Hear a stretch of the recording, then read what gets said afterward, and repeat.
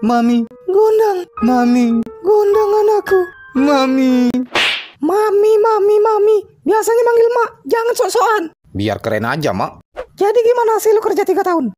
Bawa duit banyak kan? Ya elah, Mak. Belum juga masuk rumah. Siapin kopi, kek. Dan nanya duit aja. Oh, harus. Mak nggak bisa basa-basi. Langsung to the point. Iya, iya. Ada kok, Mak. Nah, gitu. Kan mak jadi tenang. Besok mak mau ketemu sama teman lama mak. Udah 18 tahun mak nggak ketemu. Terakhir kali ketemu ya waktu mak bunting lu. Terus dia pindah rumah.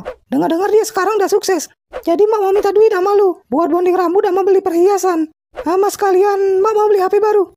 HP Mak dah rusak. Enggak, Mak sekarang lagi trending di TokTok. Udah berapa kali FYP malahan. Padahal baru seminggu Mak ikut Pargoy. Beuh, dari ribuan aja pengikut Mak. Astaga, Mak. Malu, Mak. Malu sama tetangga ada bau kunyit ikut-ikutan pargoy segala. Tenang, Mak kalau lagi Pargoy, Mak pakai ginian. Jadi gak bakalan ketahuan kalau itu Mak.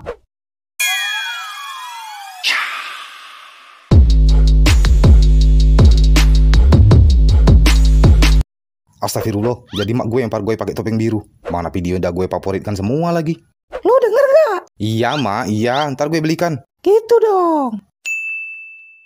Udah 18 tahun lu kita nggak jumpa. Wih, nggak nyangka beneran sukses lu. Gue kira cuma ngomong doang. Padahal waktu kita satu kelas dulu, lu tuh kan yang paling nggak keren, yang nggak pintar, yang nggak good looking, yang nggak punya duit, yang nggak enggak. Ah, sukses apaan sih? Nggak juga biasa aja. Kalau dibandingkan sama lu, kayak lu yang paling sukses. Ya iya, udah pasti. Gimana kabar anak lu? Pasti udah sukses juga dong. Maminya aja sukses kayak gini. Masa anaknya enggak? Ya enggak logis dong. Eh, ntar gue mau ketemu sama partner bisnis gue. Ntar lu ikutan ya. Sekalian kita jalan-jalan. Oke? Sebenarnya hari ini gue juga ada janji sih sama klien. Tapi nggak apa-apa deh. Ntar gue pending aja atur jadwal lain. Kita berangkat sekarang. Iya, tapi tunggu jemputan gue dulu. Nah, tuh sopir gue datang. Kita berangkat sekarang, Nyonya. Loh, emak, emak di sini juga. Ini mak lu. Benar, Nyonya.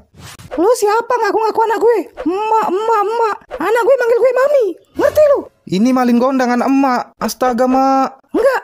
Anak gue itu sukses. Bukan sopir. Mak, mak, mak. Ngucap, mak. Ingat kemarin mak minta duit sama gue buat bonding rambut sama beli perhiasan. Soalnya mak mau ketemu sama teman lama mak. Enggak. Nggak mungkin gue minta duit sama anak gue sendiri. Pergi lu dari sini. Tega mak sama gue. Gue benar-benar hancur, mak. Baiklah. Kukutuk. Gue sendiri jadi batu. Gondang! Maafkan emak anakku. Emak benar-benar gak nyangka lu bisa senai kali ini, Gondang. Emak nyesel sumpah kalau saja waktu bisa diputar lagi. Semua ini bisa kita bicarakan dulu. Mungkin ada baiknya lu ngutuk jadi batu bacan kayak kalimanya juga boleh. Bukan batu gunung kayak gini. Paling laku buat kasabarang doang, Gondang.